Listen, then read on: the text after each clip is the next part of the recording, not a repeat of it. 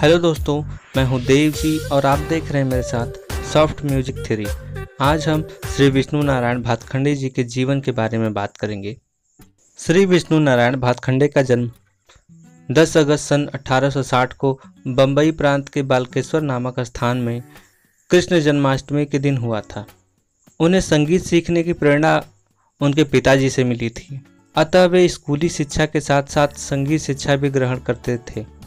उन्होंने सितार, गायन और बांसुरी की शिक्षा प्राप्त की और तीनों का अच्छा अभ्यास किया। सेठ बल्लभ दास से सितार और गुरुराव बुआ बेल बाथकर जयपुर के मोहम्मद अली खां, ग्वालियर के पंडित एकनाथ, रामपुर के कस्बे अली खां आदि व्यक्तियों से गायन सीखा। सन अठारह सौ तिरासी में बीए और 1890 में एलएलबी की परीक्षाएँ उत्तीर्ण की।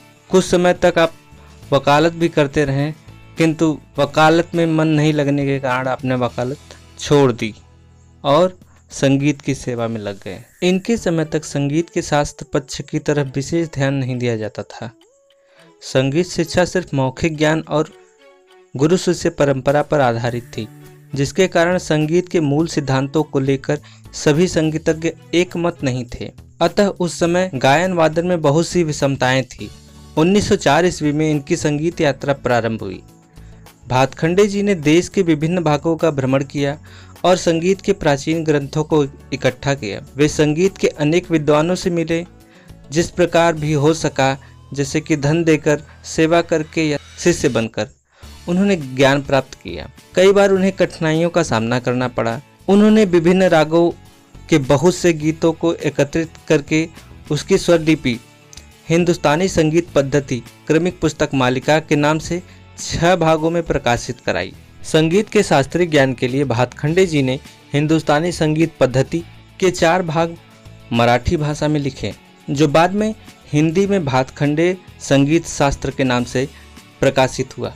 प्राचीन संगीत की विशेषताओं तथा उसमें फैली भ्रांतियों पर प्रकाश डालने के लिए संस्कृत में लक्ष्य संगीत तथा अभिनव राग मंजरी नामक पुस्तकें लिखी। क्रियात्मक संगीत को लिपिबद्ध करने के लिए एक स्वरलिपि की रचना की, जो भातखंडे स्वरलिपि पद्धति के नाम से प्रसिद्ध है। यह पद्धति अत्यंत सरल और सुबोध है।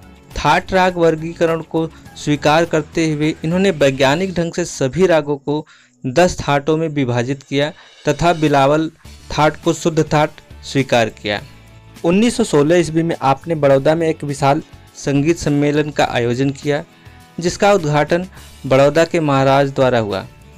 इस सम्मेलन में अखिल भारतीय संगीत अकादमी स्थापित करने का प्रस्ताव सर्वसम्मति से पारित हुआ। सन 1925 तक उन्होंने पाँच बड़े संगीत सम्मेलन आयोजित किए। भातखंडे जी के प्रयत्न से कई संगीत विद्यालयों की स्थापना हुई। उनमें से मुख्य है मैरिस म्यूज़िक कॉलेज। इसका वर्तमान नाम भातखंडे संगीत महाविद्यालय, लखनऊ, माधव संगीत विद्यालय, ग्वालियर। तथा म्यूज़िक कॉलेज बड़ौदा। इस प्रकार भातखंडे जी जीवन भर संगीत की सेवा करते रहे और 19 सितंबर 1936 को उनका स्वर्गवास हो गया।